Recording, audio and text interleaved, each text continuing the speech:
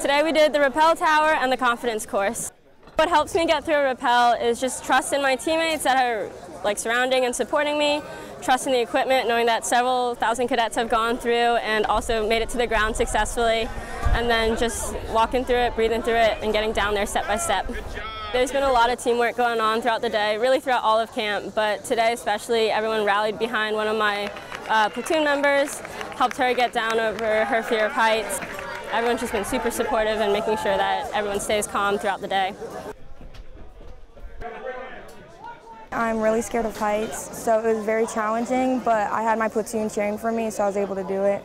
I was kind of just frozen at the top, and then they started counting down from five, and once they counted down to one, I was like, okay, it's time to go, and I just jumped off, and then I was on the ground.